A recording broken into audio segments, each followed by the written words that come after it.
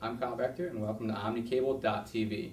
The topic for this segment of OmniCable.tv is ACSR cables. ACSR cables are used in overhead power line transmission. The letters stand for the construction of the cable.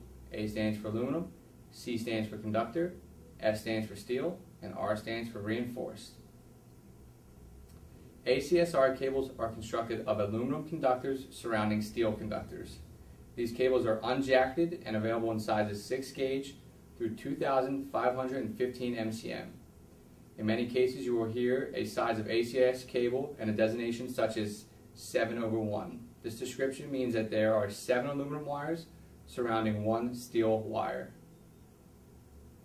ACSR cables are unique because like other aluminum cables, they have a code name associated to specific sizes. The origin of these code names is thought to have taken place because so many of the cables have similar constructions that it would be easier to identify them if they all had a unique name.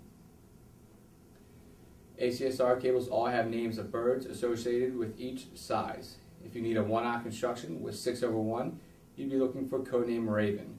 If you required 477 MCM of 18 over 1, you'd be looking for Pelican. It's important to get an accurate description of these cables if your customer uses the sizing instead of the associated name. In the 477 MCM example, if your customer instead required a 26 over 7 construction, that code name would be Hawk. Remember, if any customers call you with a code name, it is definitely an aluminum cable. If they call you with a description of an ACSR cable, you must get the size and construction to determine the proper code name to offer. You can find additional information on ACSR cables at omnicable.com or ask your account manager when inquiring about all of our secondary aluminum cables at 800-292-OMNI. I'm Kyle Vector, and thank you for tuning into OmniCable.tv.